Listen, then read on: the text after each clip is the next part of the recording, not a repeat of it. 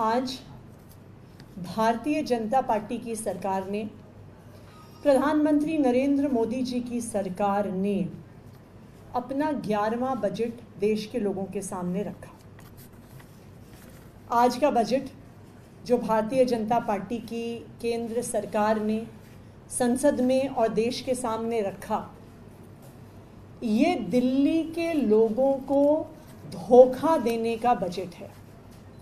ये दिल्ली की लोगों की उम्मीदों पर, ये दिल्ली के लोगों की एस्पिरेशंस पर पानी फेरने का बजट है। हर बार की तरह भारतीय जनता पार्टी शासित केंद्र सरकार ने दिल्ली के लोगों को उनका हक नहीं दिया। आज जो बजट संसद में पेश हुआ उसमें जो दिल्ली के लोगों की डिमांड थी कि जो हम टैक्सेस केंद्र सरकार को देते हैं, उसका पाँच परसेंट हिस्सा दिल्ली सरकार को मिलना चाहिए। उस डिमांड पर दिल्ली के लोगों को कुछ नहीं मिला। शेयर इन सेंट्रल टैक्सेस पर दिल्ली का एलोकेशन 2024-25 के बजट में ज़ीरो है। उसी तरह से दिल्ली के लोगों ने ये डिमांड किया था कि जिस तरह से देश भर में लोकल बॉडीज़ को फाइनेंशियल एलोकेशन बजटरी एलोकेशन होता है, उसी तरह से दिल्ली की म्यूनिसिपल कॉरपोरेशन को भी बजटरी एलोकेशन होना चाहिए। हमने ये डिमांड किया था कि पाँच परसेंट टैक्सेस दिल्ली की म्यूनिसिपल कॉरपोरेशन को भी मिलने चाहिए दिल्ली के लोगों के विकास के लिए। लेकिन दिल्ली की म्यूनिसिपल कॉरपोरेशन को एमसीडी को एक रुपया भी केंद्र सरकार के बजट में नहीं मिला। ऐसा नहीं है कि केंद्र सरकार ने और राज्यों को शेयर इन टैक्सेस नहीं दिया। जो बजट डॉक्यूमेंट अभी सेंट्रल गवर्नमेंट ने बीजेपी की सरकार ने अपलोड किया है, उसमें ये स्पष्ट लिखा है कि devolution of state share in taxes इस 2024-25 के बजट में एक लाख चौबीस हज़ार करोड़ रुपए अलग अलग राज्यों को दिए गए हैं। एक लाख चौबीस हज़ार करोड़ रुपए। लेकिन दिल्ली वालों को शेयर इन टैक्सेस में एक रुपया भी नहीं मिला। उसी तरह से ग्रांट्स फॉर लोकल बॉडीज के लिए बयासी हज़ार दो सौ सात करोड़ अलग अलग लोकल बॉडीज को urban local bodies rural local bodies को एलोकेट किए गए हैं। लेकिन दिल्ली की म्यूनिसिपल कॉरपोरेशन को एक रुपया भी इस बजट में नहीं मिला। ऐसा नहीं है कि दिल्ली के लोग केंद्र सरकार के टैक्सेस में, केंद्र सरकार के रेवेन्यू में कंट्रीब्यूट नहीं करते। बल्कि इसका उल्टा है। दिल्ली देश के इकोनॉमिक ग्रोथ का एक इंपॉर्टेंट इंजन है। दिल्ली हर साल दो लाख करोड़ से ज़्यादा इनकम टैक्स सेंट्रल गवर्नमेंट को देता है। एग्जैक्ट फिगर पिछले साल का अगर हम देखें तो दो लाख सात हज़ार करोड़ दिल्ली के लोगों ने अपनी मेहनत की कमाई से इनकम टैक्स केंद्र सरकार को दिया। उसके अलावा सीजीएसटी यानी जीएसटी का सेंट्रल शेयर उसमें पच्चीस हज़ार करोड़ रुपए दिल्ली के लोगों ने केंद्र सरकार को दिया।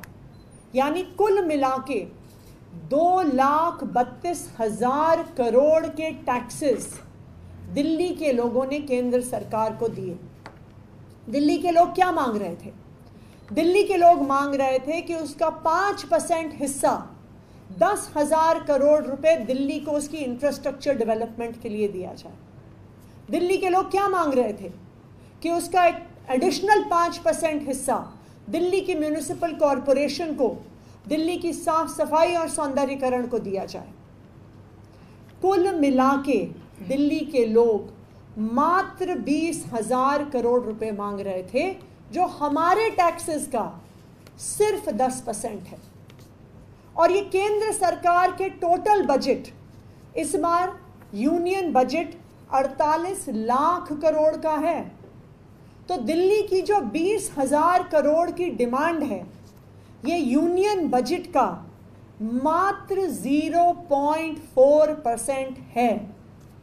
लेकिन उसके बावजूद भी केंद्र सरकार ने एक रुपया शेयर इन टैक्सेस का नहीं दिया और एक रुपया भी दिल्ली की म्यूनिसिपल कॉरपोरेशन को नहीं दिया।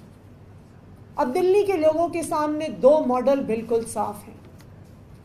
एक तरफ़ अरविंद केजरीवाल जी की सरकार का मॉडल है।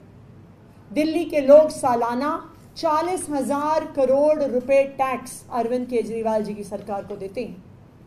उस चालीस हज़ार करोड़ रुपए टैक्स से अरविंद केजरीवाल जी की सरकार, आम आदमी पार्टी की सरकार दिल्ली के लोगों को स्कूल देती है, मोहल्ला क्लिनिक देती है, हॉस्पिटल्स में फ्री इलाज देती है 24 घंटे बिजली देती है, एक फ्लाईओवर्स और रोड्स का नेटवर्क देती है।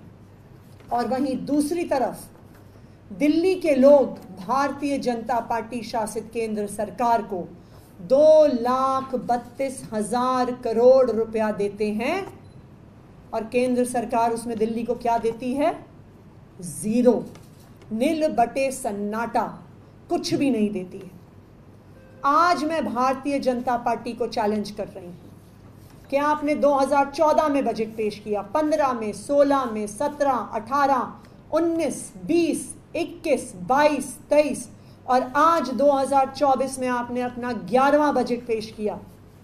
मैं भारतीय जनता पार्टी को उनकी केंद्र सरकार को ये चैलेंज कर रही हूँ कि पिछले 11 साल में, पिछले 11 बजट में आपने एक काम भी अगर दिल्ली के लिए करके दिखाया है तो आप बताइए। मैं आज चैलेंज कर रही हूँ। भारतीय जनता पार्टी शासित केंद्र सरकार के पास सब कुछ है। उनके पास दिल्ली सरकार से ज़्यादा पैसा है सब। उनके पास 48 लाख करोड़ का बजट है। उनके एलजी साहब दिल्ली में हैं। उनके ऊपर अफसरों का पूरा कंट्रोल है। जब दिल्ली सरकार को सुप्रीम कोर्ट से पावर मिलती है तो उस पावर को छीन लेते हैं। कहते हैं, हमारे पास पावर है। लेकिन उनके पास पावर होने के बाद, पैसा होने के बाद, एलजी होने के बाद, अफसर होने के बाद मैं आज ये दावे के साथ कह रही हूँ कि 11 साल में उन्होंने दिल्ली के लोगों के लिए एक काम भी नहीं किया। ये है भारतीय जनता पार्टी का मॉडल। और दूसरी तरफ़ अरविंद केजरीवाल की सरकार है, जिसके पास सिर्फ़ सालाना चालीस हज़ार करोड़ टैक्स में आते हैं, जिसकी पावर छीन ली गई है, जिसके पास अफसरों के ऊपर कंट्रोल नहीं है, जिसके सारे काम रोकने की कोशिश की जाती है, लेकिन फिर भी अरविंद केजरीवाल की सरकार 24 घंटे बिजली देती है। अरविंद केजरीवाल की सरकार फ्री बिजली देती है, अच्छे स्कूल देती है, अच्छे अस्पताल देती है, इलेक्ट्रिक बसेस देती है, महिलाओं को फ्री बस यात्रा देती है, बच्चों को अच्छा शिक्षा देती है, दिल्ली के लोगों को अच्छा इलाज देती है। तो आज के बजट में दिल्ली के लोगों को ये दिखा दिया है कि भारतीय जनता पार्टी ने, उनकी केंद्र सरकार ने आज तक 11 साल में दिल्ली के लिए कुछ नहीं किया है और बजट ने ये दिखा दिया है कि ना ही भारतीय जनता पार्टी शासित केंद्र सरकार पावर होते हुए भी पैसा होते हुए भी दिल्ली के लिए कुछ करने वाली है। थैंक यू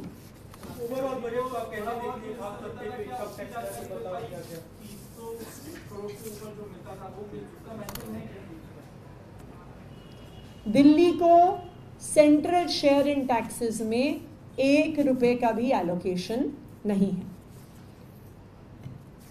देखिए जो ओवरऑल बजट है उस पर एक डिटेल्ड रिस्पॉन्स अभी हम आ, हमारे पार्टी के सांसद रखेंगे। लेकिन एक बात बिल्कुल स्पष्ट है। ये बात बिल्कुल स्पष्ट है कि ये भारतीय जनता पार्टी शासित केंद्र सरकार सिर्फ़ अपनी सरकार और अपनी सत्ता को बचाने के लिए बजट पेश कर रही है। देश के लोगों के लिए बजट नहीं पेश कर रही। आज देश में सबसे बड़ी समस्या है बेरोजगारी। इस बजट से युवाओं को रोज़गार मिलने के लिए कोई कदम नहीं उठाए गए हैं। उनको एक खोखला वादा किया गया है कि हम इंटर्नशिप देंगे। पाँच हज़ार रुपए की तनख्वाह देंगे। क्या ये निर्मला सीतारमन जी का internship model Bharatiya Janata party के देश की सेना में लाए हुए अग्निवीर की मॉडल की तरह है, जहाँ पे पैसे भी नहीं मिलते हैं, जहाँ पे आगे कोई बेनिफिट्स नहीं मिलते हैं। क्या जिस तरह आर्मी में अग्निवीर लेके आए, अब युवाओं को कह रहे हैं, नौकरी तो हम दे नहीं सकते, सिर्फ़ पाँच हज़ार रुपए की इंटर्नशिप देंगे। आप स्वास्थ्य का बजट देखने जाइए। स्वास्थ्य का बजट पिछले साल से घट गया है। पिछले साल 1.98 परसेंट एलोकेशन हेल्थ को हुआ था। इस बार वो एलोकेशन घट के 1.85 परसेंट हो गया। कहते हैं कि हम अच्छी स्वास्थ्य की सुविधा देंगे। कहते हैं आयुष्मान भारत के माध्यम से देंगे। आयुष्मान भारत का कुल बजटरी एलोकेशन मात्र सात हज़ार दो सौ करोड़ है।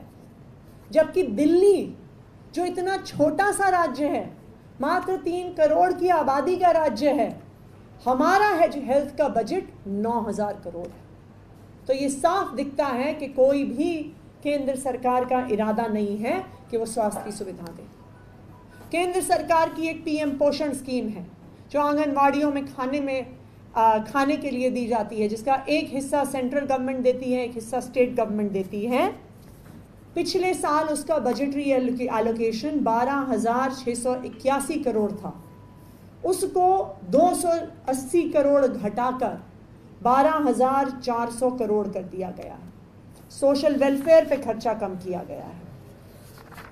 आप देखिए, केंद्र सरकार जो किसानों को सब्सिडी देती थी फर्टिलाइज़र सब्सिडी को घटा के पच्चीस हज़ार करोड़ से सिर्फ़ सोलह हज़ार करोड़ रख लिया गया है, यानी 36 परसेंट का रिडक्शन तो ये बिल्कुल साफ़ है कि भारतीय जनता पार्टी सिर्फ़ अपनी सरकार को बचाने के लिए बजट लेके आई है। ये बजट युवा विरोधी है, ये बजट किसान विरोधी है, और इस बजट ने देश की महिलाओं का खर्चा कम किया है, देश के बच्चों का खर्च कम किया है, और बिल्कुल साफ़ है जो दिल्ली वाले देख रहे हैं कि दिल्ली वालों के साथ अत्याचार। जिस तरह अंग्रेज़ों के ज़माने में भारत का सारा पैसा लूट के ले जाती थी अंग्रेज़ों की सरकार, अंग्रेज़ों का राज, उसी तरह से दिल्ली के लोगों का पैसा लूट के लेके जा रही है भारतीय जनता पार्टी शासित केंद्र सरकार।